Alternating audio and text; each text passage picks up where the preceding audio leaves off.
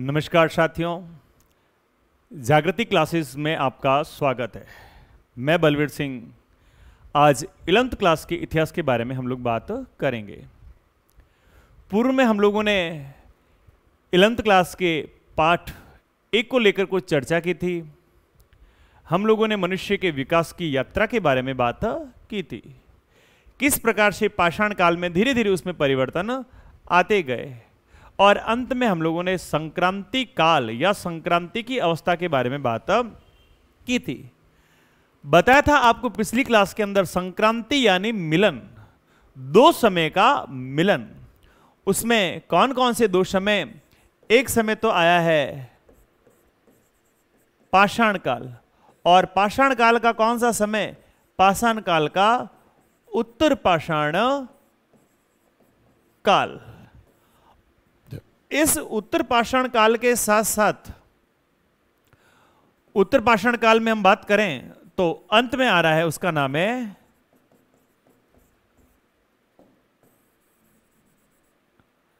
इधर जो आ रहा है उसका नाम है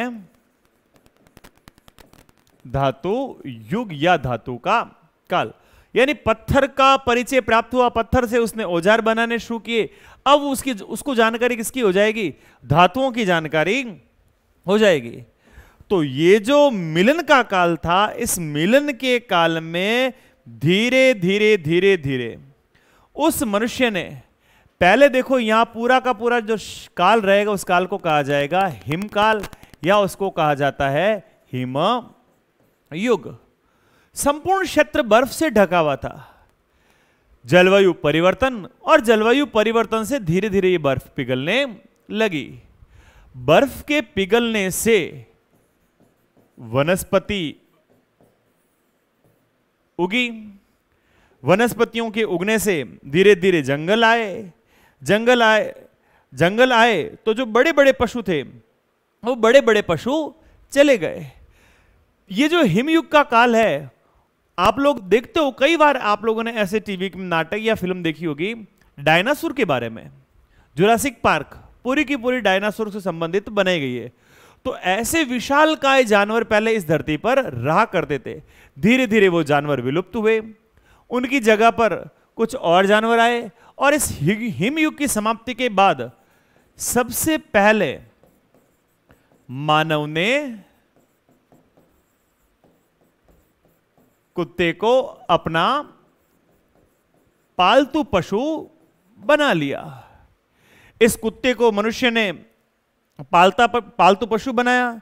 ये पालतू पशु बनने के बाद में जो कुत्ता था, ये कुत्ता उसकी शिकार में सहायता करता था।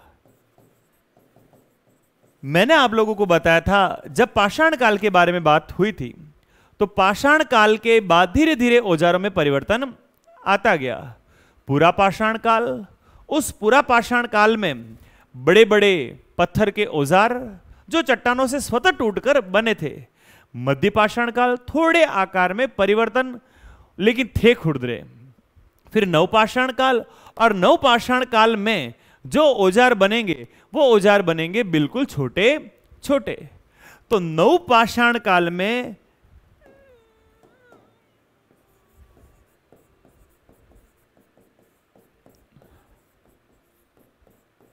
नवपाषाण काल में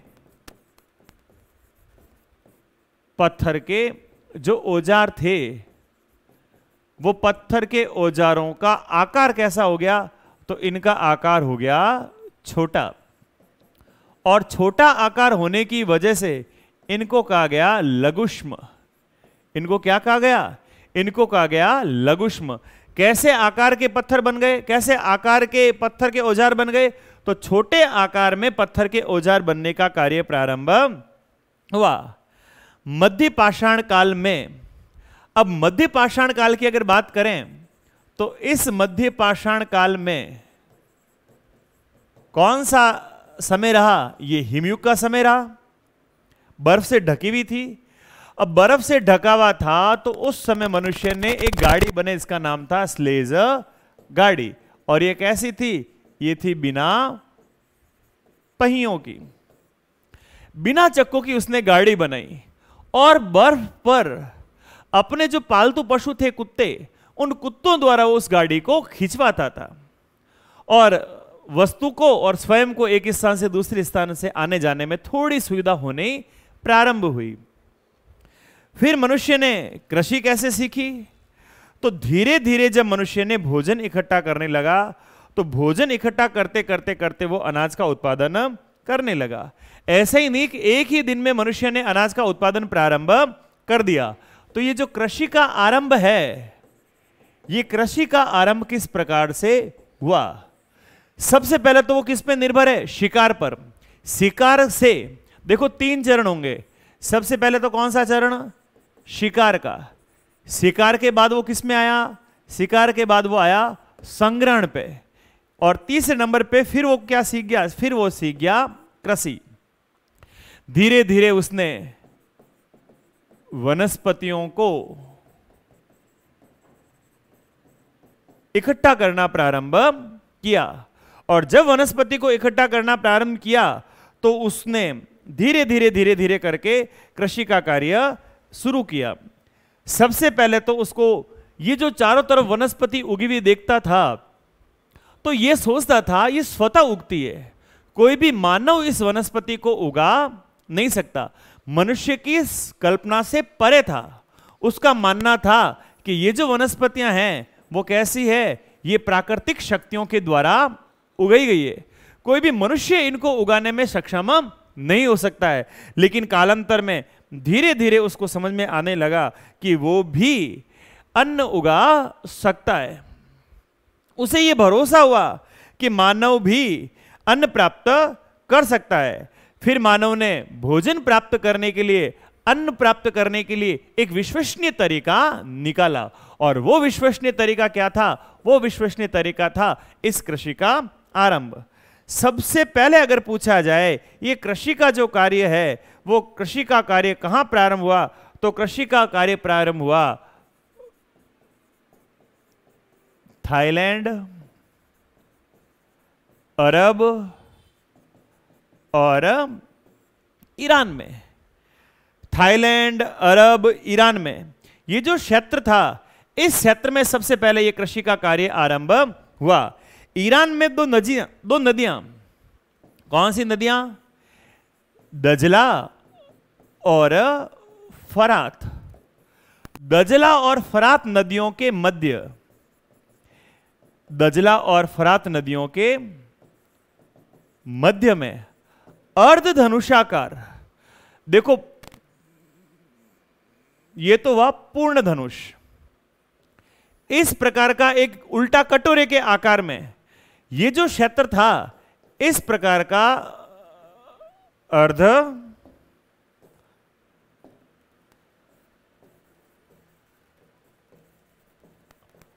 धनुषाकार क्षेत्र। और इस आधे धनुष के आकार वाले क्षेत्र में सबसे पहले यह कृषि का कार्य आरंभ हुआ। जब मनुष्य ने कृषि का कार्य सीख लिया तो कृषि सीखने के बाद उसने क्या किया? कृषि सीखने के साथ साथ में उसने पशुपालन का कार्य भी आरंभ कर दिया। ये कृषि और पशुपालन का जो कार्य था, ये दोनों ही कार्य किस काल में प्रारंभ होंगे? तो बताया गया ये दोनों ही कार्य मनुष्य के द्वारा नवपाषाण काल में। नवपाषाण काल में मनुष्य ने खेती करनी भी प्रारंभ कर दी और खेती के साथ साथ में उसने पशुपालन का कार्य भी प्रारंभ कर दिया। अब जब उसने कृषि का कार्य प्रारंभ किया देखो इन सारी की सारी चीज़ों को घटनाओं को आपस में एक दूसरे के साथ में जोड़कर देखना। कैसे जोड़कर देखें? सबसे पहले क्या करेगा? शिकार। शिकार के बाद में क्या करेगा? जंगलों से वन, फल, फूल, जो भी मिल रहे हैं, उनको इकट्ठा करेगा।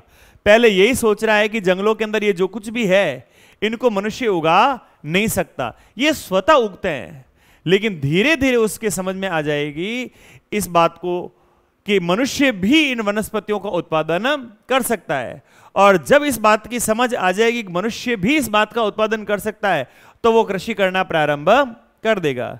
कृषि करना प्रारंभ कर देगा तो कृषि के साथ में वो क्या करेगा? पशुपालन का कार्य भी प्रारंभ करेगा।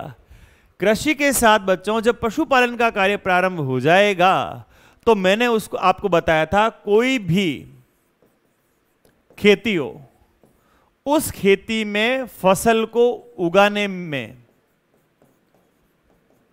और, फिर पकने में। लगता है कुछ समय।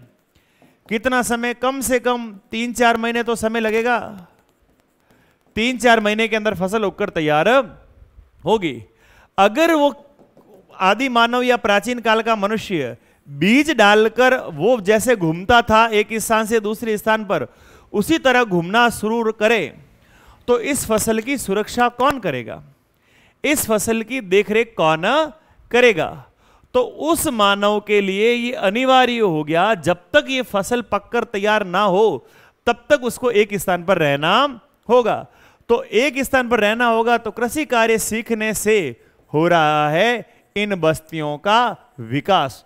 और जब वो मनुष्य एक जगह पर रहना सीख जाएगा, और एक जगह जब रहना सीख जाएगा तो धीरे धीरे वो बस्तियाँ बदलनी, बस्तियाँ बननी प्रारंभ हो जाएगी।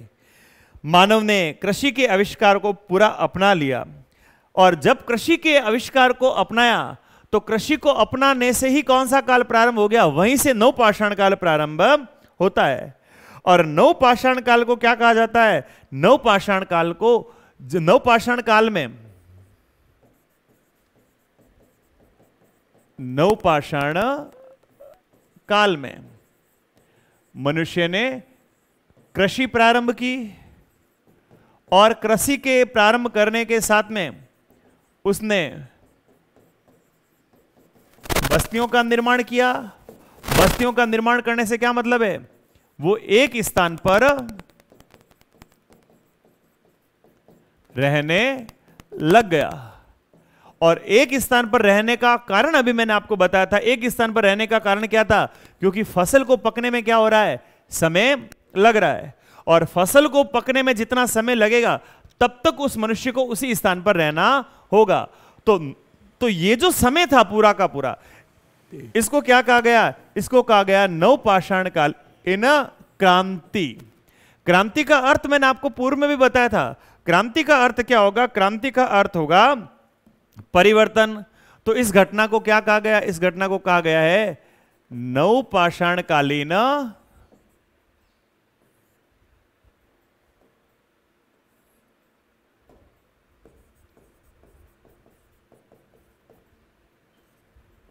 नवपाषाण कालीन क्रांति। किन किन बातों को नवपाषाण कालीन क्रांति में रखा जाएगा? कृषि और बस्तियाँ। जब उसने खेती करना प्रारंभ की और समूह में एक स्थान पर रहना प्रारंभ कर दिया। एक स्थान पर उसने रहना सीख लिया। मानव को लगा कि सिर्फ़ और सिर्फ़ बीज को बोने से फ़सल उगने वाली नहीं है। बीज को बोने से काम खत्म होने वाला नहीं है। बीज को बोने के साथ साथ में उसकी सिंचाई करनी होगी। निरई गुड़ई का काम उसमें करना होगा। निरई गुड़ई के कार्य के साथ साथ अन्य जो दूसरे जानवर होंगे, उन दूसरे जानवरों से भी उस फ़सल को बचाकर रखना होगा। तो उसने एक स्थान पर रहना प्रारंभ किया। जब एक स्थान पर रहना प्रारंभ करेगा तो किसका निर्माण होगा? तो वहाँ पर बस्तियों का निर्माण होगा।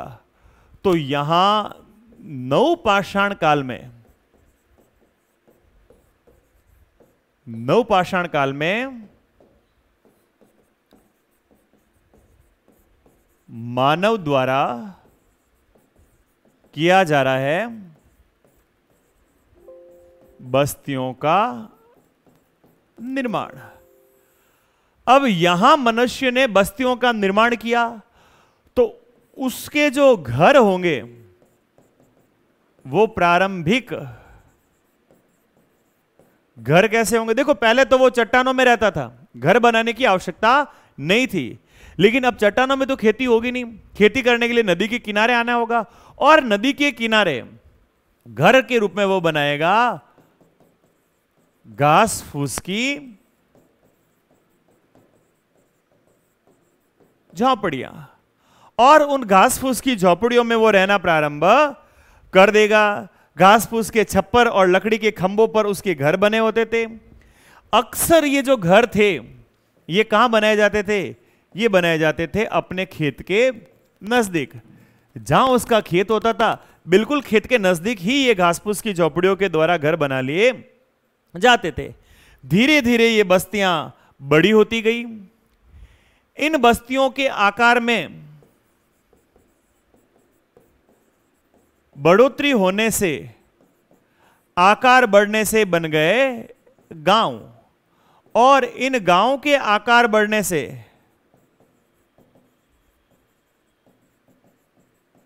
बन गए नगर। समझो इस बात को। सबसे पहले क्या बनी? सबसे पहले बनी है ये बस्तियाँ। ये बड़ी या इनका आकार इनका आकार बढ़ा और इनके आकार के बढ़ने से क्या बन गए? गाँव। फिर गाँव से क्या बन गए? गाँव से बन गए नगर। कैसे नरग, नगर बन गए? फिर बन गए हैं आरक्षित नगर। जहाँ पर जो लोग रह रहे हैं उन्हीं लोगों का वहाँ पर निवास माना जाएगा। धीरे धीरे मनुष्य ने अपने जीवन को बना लिया था, व्यवस्थित। और मनुष्य का जो व्यवस्थित जीवन हुआ तो मनुष्य ने अपने जीवन को कर लिया है संगठित। एक साथ मिलकर संगठित रूप से, अब पहले तो बिखरा रह रहा है, लेकिन अब उसने अपने को एक रूप में ढालकर संगठित जीवन जीना प्रारंभ कर देगा। अब यहाँ हम बात करेंगे मिश्रित कृषि की। मिश्रित कृषि क्या होगी? देखो, जब उसने खेती करना सीख लिया तो यहाँ मिश्रित कृषि किसे कहा जाएगा? कृषि के साथ साथ और कौन सा कार्य किया जाए? कृषि के साथ साथ और पशुपालन का कार्य भी किया जाए। वो जो प्रारंभिक मानव था, वो पशुपालन किन कारणों को लेकर करता था? वो पशुपालन करता था दूध दही को लेकर और मांस की प्राप्ति हेतु, दूध प्राप्त करने हेतु और मांस प्राप्त करने हेतु उसने कौन सा कार्य प्रारंभ किया? पशुपालन का कार्य प्रारंभ कर दिया। अब पशुपालन का कार्य प्रारंभ हुआ। प्रारंभ में शुरू शुरू में मनुष्य जो भी जानवर दिखता, मिलता, उसको मारकर भोजन के रूप में खा जाता था।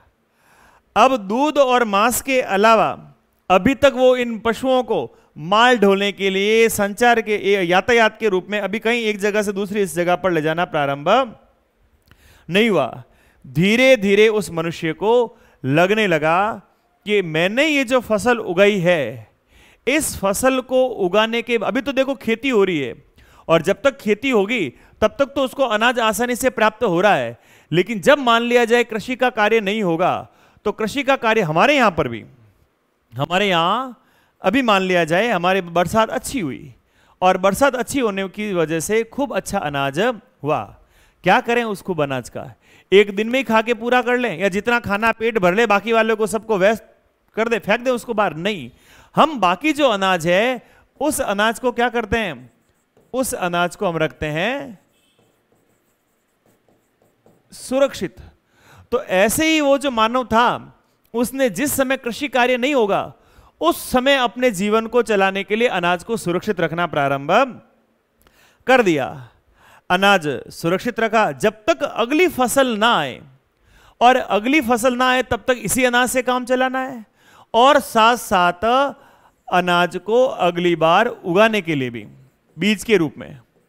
अगर देखो सारा अनाज खा के नष्ट करेगा तो फिर अगली बार वो खेती किससे करेगा?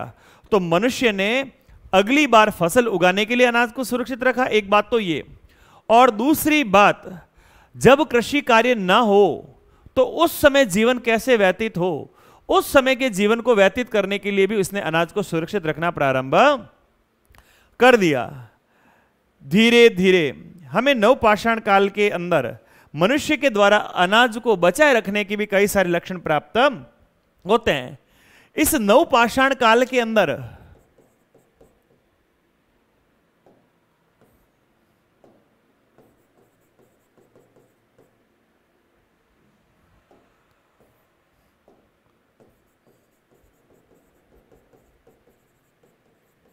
नवपाषाण काल के अंदर हमें जो बस्तियाँ प्राप्त हुई है, उन बस्तियों से हमें मिल रहे हैं अनाज के पात्र, अनाज रखने के बर्तन, अनाज रखने के बड़े बड़े पात्र, आप लोगों ने देखा होगा, अगर हमें गाँव में किसी के घर में अनाज रखने के बड़े बड़े कोठार दिखते हैं तो अनाज रखने के बड़े बड़े कोठार दिखते हैं, इस बात का क्या अभिप्राय हुआ? कि इनके घर में जो अनाज हुआ है, उस अनाज को सुरक्षित रखने के लिए इस कोठार का उपयोग किया गया है या किया जाता है। बिना अनाज हुए किसी के घर में कोठा, कोठार के अंदर खुद तो रहने से रहा, कोठार के अंदर रखा किसको जाएगा? अनाज को ही रखा जाएगा। तो ऐसे भंडार गृह घरों के अंदर बने होते थे। तो पाषाण काल के अंदर भी जो बस्तियाँ थी, वहाँ पर भी जो घर बने हुए थे, उन घरों से भी हमको अनाज रखने के पात्र प्राप्त हो रहे हैं। क्या मतलब निकालेंगे इन अनाज रखने के पात्रों को देखकर? इस बात का अर्थ निकल रहा है कि वो जो पाषाण कालीन मानव था नव पाषाण कालीन मानव था, उस नव पाषाण कालीन मनुष्य ने अनाज को सुरक्षित रखने के लिए। और क्यों अनाज को सुरक्षित रख रहा है? अनाज को सुरक्षित रखा जा रहा है, उसका जो शेष जीवन है जिस समय वो कृषि का कार्य नहीं कर रहा है, उस अवकाश काल में उस अनाज का ये उपयोग कर सके। और साथ ही साथ अगली बार वापस उस अनाज को बीज के रूप में उगाने के काम में ले सके तो वो अनाज को सुरक्षित रख रहा है। और साथ ही साथ अब उसने पशुओं को अपना मित्र बना लिया। कृषि के साथ साथ में उसने पशुपालन का कार्य भी प्रारंभ कर दिया। पशु पहले तो पशु के साथ में उसकी शत्रुता है, पशु देखता, देखकर उसको मारकर खा जाता। लेकिन उसे लगा, अगर इसी तरह मैं पशुओं को मारकर खाता रहा तो मुझे आगे के लिए पशु प्राप्त नहीं होंगे। जो दूध देने वाले पशु थे, जो दुधारू पशु थे, अब उसने उन पशुओं को मारना बंद कर दिया। क्यों? क्योंकि वो उसके उपयोगी थे। मांस के अलावा भी उसको दूध की और अन्य पदार्थों की आवश्यकता उन पशुओं से प्राप्त हो जाती थी। मान लिया जाए कि अगर इसी प्रकार से पशुओं को मारता रहा तो ना तो उसको ये आवश्यकता, दूध दही की आवश्यकता मिल पूरी हो पाएगी और ना उसकी मांस की आवश्यकता पूरी हो पाएगी। तो मांस की आवश्यकताओं को पूरा करने के लिए, दूध दही की आवश्यकताओं को पूरा करने के लिए उस पाषाणकालीन मानव ने इन पशुओं के साथ मित्रता करके कृषि के साथ साथ पशुपालन का कार्य भी प्रारंभ कर दिया।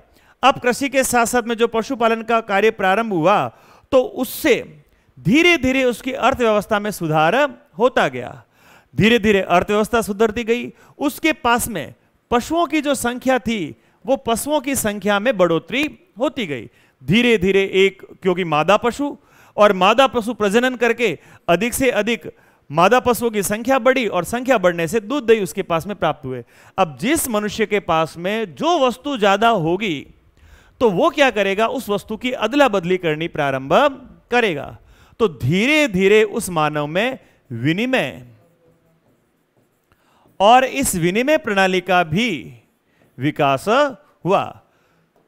विनिमय प्रणाली की अगर हम बात करें तो ये जो विनिमय होगा, या इसको हम कहें व्यापार तो प्रारंभिक जो व्यापार होगा, वो प्रारंभिक व्यापार कैसा होगा? प्रारंभिक व्यापार होगा उसका वस्तु विनिमय। उस मनुष्य ने वस्तु के बदले में वस्तु की अदला बदली करनी प्रारंभ कर दी। मान लिया जाए, किसी के पास पशु संख्या बढ़, बढ़ने से दूध दही ज़्यादा हो गए तो ऐसे में वो क्या करेगा? अगर अनाज नहीं है तो दूध दही को देकर बदले में अनाज की प्राप्ति कर लेगा। इसी पाषाण काल में उस मानव ने एक और कार्य किया है, और नव पाषाण काल में और कौन सा कार्य किया? इस नव पाषाण काल में उस मनुष्य ने बना लिए चिकने पत्थर के औज़ार। चिकने पत्थर के औज़ार, याद करो पूरा पाषाण काल की बातों को। हम लोगों ने पढ़ा था पूरा पाषाण काल के अंदर। पूरा का पाषाण काल में उस मनुष्य ने जो पत्थर के औज़ार थे, वो प्राकृतिक रूप से जो चट्टानों से टूट फूट कर आ रहे हैं उनको उसी रूप में उपयोग में ले रहा है। वो खुरदरे थे वो बड़े थे उनका आकार सुव्यवस्थित नहीं था लेकिन अब उस पाषाण काल में मानव ने स्वयं अपने हाथों से पत्थरों को मन मर्ज़ी का आकार देकर उनको घिसकर चिकना बनाकर उपयोग में लेना प्रारंभ कर दिया। उसने चिक, चिकने बनाए। उसका जो ऊपर सिर वाला भाग होता था उन पत्थर के औज़ार का ऊपरी भाग या सिर वाला भाग। इस सिर वाले भाग के ऊपर वो अलग अलग प्रकार की नक्काशी का कार्य भी करने प्रारंभ हो गए थे। उनको पूरी तरह से गढ़ा जाता था। उसको पूरी तरह से सिर वाले भाग यानी ऊपरी भाग को पूरी तरह से गढ़ा जाता था। और ऊपरी भाग को गढ़ कर वो मनुष्य अपने जीवन के अंदर उन पत्थर के औजारों का उपयोग करना प्रारंभ हुआ था।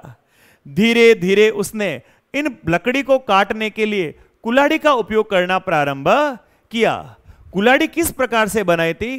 कुलाड़ी प्रारंभ में जो बनाई थी, वो कुलाड़ी भी उस पाषाण कालीन मानव ने पत्थर की ही बनाई थी। लकड़ी का कोई एक भाग, उस लकड़ी के भाग को इस प्रकार से वो काटता था। और इस प्रकार से काटकर ये जो बीच वाला भाग होता था, इसमें कोई पत्थर का नुकीला भाग उसके द्वारा फंसा दिया जाता था। ये पूरा का पूरा नुकीला और चिकना भाग हुआ करता था। और इस नुकीले भाग से फिर वो आसानी से हाथ से लेकर अगर किसी चीज़ को वो काटना चाहेगा तो मन माना आकार उसको दे नहीं पाएगा। धीरे धीरे लकड़ी को काटने के लिए उसने इसी नवपाषाण काल के अंदर बना ली है कुलाड़ी। और कुलाड़ी के माध्यम से वो उस लकड़ी को काटकर अपने घर बनाने के लिए, या ईंधन के रूप में, या और किसी काम के रूप में उस लकड़ी को लेने लग गया था। जब उसने कुलाड़ी का आविष्कार किया और कुलाड़ी के आविष्कार करने से एक और नया कार्य उस पाषाणकालीन मानव के सामने आ गया और वो काम था बढ़ई गिरी का। धीरे धीरे उसने बड़ई गिरी का कार्य प्रारंभ किया। ये बड़ई गिरी क्या होगी? हम बात करें लकड़ी के सामान बनाने वाले जो भी लकड़ी के सामान बनाने वाले, लकड़ी की वस्तु बनाने वाला जो व्यक्ति होगा, उसको कहा जाएगा बड़ई। और बड़ई जो होगा, उस बड़ई के कार्य को कहा जाएगा बड़ई गिरी। धीरे धीरे बड़े कार्य का काम प्रारंभ हुआ। उसी नवपाषाण काल के अंदर उस मानव ने एक और आविष्कार किया सुई का कपास से तो जानकारी उसको प्राप्त हो ही गई थी और कपास की जानकारी होने से उसने वस्त्र बनाने प्रारंभ कर दिए थे। कपास को काटता काट कर बुनता और बुनने के बाद में वस्त्र बनाता, लेकिन अब भी तक उसको सिलाई का कार्य नहीं आया था। लेकिन नवपाषाण काल में जब उसने सुई का आविष्कार किया तो सुई के आविष्कार के बाद धीरे धीरे धीरे अब उसे सिलाई का कार्य भी आ चुका था। हम बात करें पाषाण काल की तो इसी नवपाषाण काल के अंदर उसने शिकार करने के लिए एक और हथियार बनाया, जिसको कहा जाता था गुलेल। गुलेल का निर्माण किया किस तरह से था? मृत जानवरों की हड्डियों के बीच में। मृत जानवरों की हड्डियों के बीच में। किसी चीज़ को फंसाकर, दूर बैठे व्यक्ति के या दूर बैठे शिकार के ऊपर फेंक कर वो आसानी से शिकार कर पाए। इसलिए उसके द्वारा बनाया जा रहा है ये गुलेल। गुलेल बनाने के साथ ही साथ उसके द्वारा बनाई जा रही है एक कांटेदार बर्छी। इसी नवपाषाण काल के अंदर तो नवपाषाण काल का जो समय था, वो संक्रांति का मिलन का समय था। दो समय मिल रहे हैं। क्या क्या परिवर्तन हुए? सबसे पहले हम लोगों ने बात की थी उस मनुष्य ने। कृषि का कार्य सीख लिया। कृषि सीखने से उसने बस्तियों का निर्माण कर लिया। जब यहाँ बस्तियाँ बसी और कृषि कार्य आया तो कृषि के साथ साथ में उसने और कौन सा कार्य प्रारंभ कर दिया? इस पशुपालन का कार्य भी प्रारंभ कर दिया। इन्हीं बस्तियों से कालांतर में किसका निर्माण हो गया? बड़े बड़े नगरों का निर्माण हुआ। फिर इसी नवपाषाण काल में, उस नवपाषाण कालीन मानव ने धीरे धीरे यहाँ पर विनिमय या व्यापार करना भी प्रारंभ कर लिया। विनिमय और व्यापार के साथ साथ इस नवपाषाण कालीन मानव ने शिकार करने के लिए कुछ नए हथियार बना लिए हैं। कौन कौन से नए हथियार बना लिए हैं? उसके द्वारा कुलाड़ी बना ली गई है। कुलाड़ी के साथ साथ में हम लोगों ने बात की थी, उसके द्वारा गुलेल का निर्माण कर लिया गया था। इसी नवपाषाण काल के अंदर उस मानव के द्वारा निर्मित कर ली गई थी इस गुलेल को। एक नया उसका व्यापार या आजीविका का एक साधन उसके सामने आ गया था। और वो कौन सा साधन था? वो साधन था ये बढ़ई गिरी का। फिर हम बात करें नवपाषाण काल में ही तो इसी नवपाषाण काल के अंदर उस मनुष्य ने बना लिए थे मिट्टी के बर्तन। किस प्रकार से मिट्टी के बर्तन बनाए थे? प्रारंभ में घास फूस की टोकरी बना रहा है और प्रारंभ में उसके द्वारा जो घास फूस की टोकरी बनाई जा रही है, उसमें केवल और केवल अनाज को रखा जा सकता था। उसमें द्रव्य पदार्थ को नहीं रखा जा सकता था। तो द्रव्य पदार्थ को रखने के लिए उसने जो घास फूस की टोकरी थी, उस घास फूस की टोकरी पर मिट्टी की एक परत चढ़ा दी, या मिट्टी का कर दिया उसके ऊपर लेप। अब मिट्टी का लेप तो कर दिया, लेकिन ज़्यादा समय तक उस बर्तन में द्रव्य पदार्थ सुरक्षित नहीं रह पाता था। कुछ समय तो रह गया, लेकिन धीरे धीरे धीरे धीरे उस द्रव्य का उसमें से निष्कासन हो जाता था। मनुष्य ने और अपने विवेक को जागृत किया। अब घास फूस की जगह उसने केवल और केवल मिट्टी के कुंडलियाँ बना बनाकर बर्तन बनाने प्रारंभ किए। अब मिट्टी के कुंडली बना बनाकर जब वो बर्तन बनाएगा तो उसमें कौन कौन सी चीज़ उसके द्वारा मिलाई जाती थी? उसमें मिलाई जाती थी मिट्टी। मिट्टी के साथ में वो मिलाता था, पिसी हुई सीपी। सीपी के बारे में हमने इससे पूर्व की क्लास में भी बात की थी। क्या होगा सीपी एक समुद्री जीव। और उस समुद्री जीव के ऊपर वाला जो कवच होता था, उस ऊपर वाले कवच को पीस कर, इस मिट्टी सीपी और सीपी के साथ में कुछ वो इस्तेमाल कर रहा है घास, फूस। इनसे वो मिट्टी के बर्तन बना रहा था। लेकिन धीरे धीरे उसने इन घास, फूस के उपयोग को कर दिया है बंद। अब मिट्टी और पिसी हुई सीपी से बर्तन बना रहा था। बर्तन कुछ समय ज़्यादा चलने लगे। लेकिन अभी ये जो बर्तन बने, ये भी पूर्ण रूप से मिट्टी के बर्तन। जैसा वो चाहता था, वैसे बर्तन उसको प्राप्त नहीं हुए। तो ऐसी स्थिति में अब उसने, जब आग भी सीख ली और मिट्टी के बर्तन बनाना भी सीख लिया, तब आग में इन बर्तनों को पकाने का कार्य प्रारंभ कर दिया। एक साथ मिट्टी के बर्तन रखता, उन सारे के सारे बर्तनों को आग के अंदर रखकर उसने पकाने का कार्य प्रारंभ किया। अब जब आग में उसके बर्तन पक जाते थे तो मिट्टी के बर्तन पूरी तरह से सख्त हो जाते थे, मज़बूत हो जाते थे। अब उन बर्तनों पर पानी का कोई असर नहीं होता था। और जब इन बर्तनों पर पानी का कोई असर नहीं होगा तो ये बर्तन लंबे समय तक चलने वाले हो जाएँगे।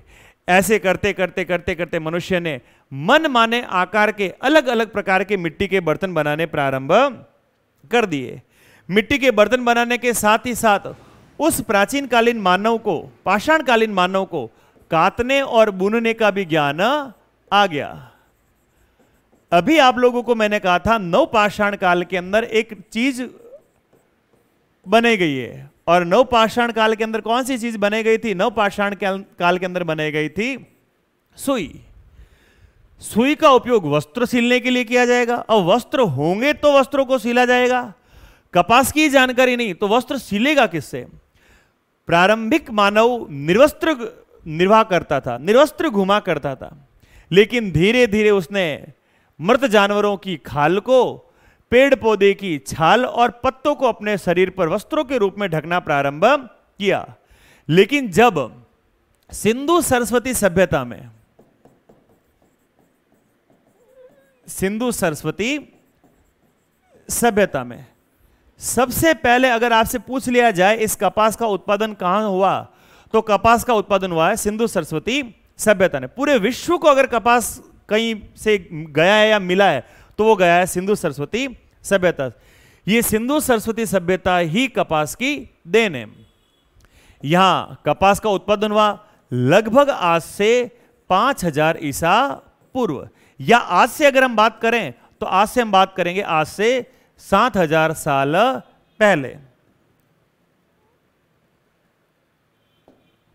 आज से सात हज़ार साल पहले उस मनुष्य ने कपास का उत्पादन करना प्रारंभ कर दिया था।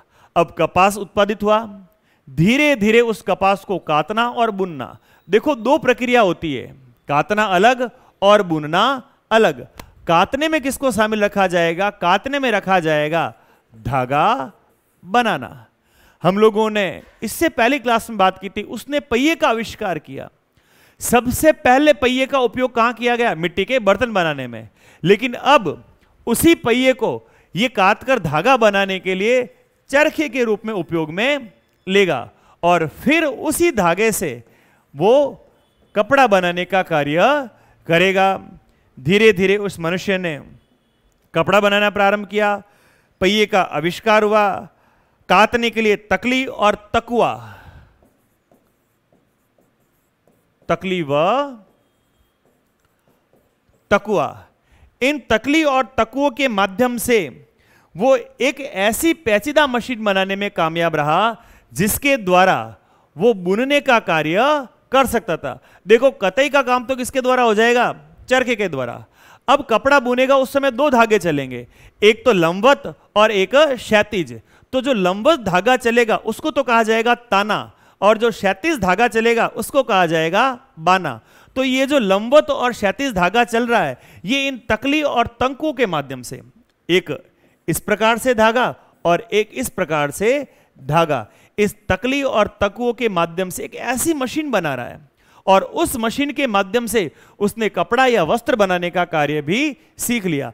धीरे धीरे उसके जीवन में और परिवर्तन आता गया। परिवर्तन आता गया, उसका जो सामुदायिक जीवन था, उसका समूह के साथ में जो रहना था, उस सामुदायिक जीवन में उसने सुधार करना प्रारंभ किया। केवल और केवल वो कार्य नहीं करेगा। अब कार्य के अवकाश में जब भी उसको समय मिलेगा, अब समय के अंदर उसको चाहिए मनोरंजन।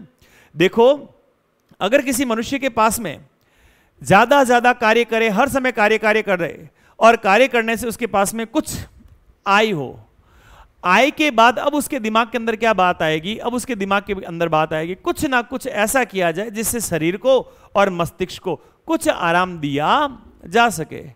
शरीर और मस्तिष्क को आराम देने के लिए क्या किया जाए? कुछ ऐसा किया जाए जिससे मनोरंजन हो।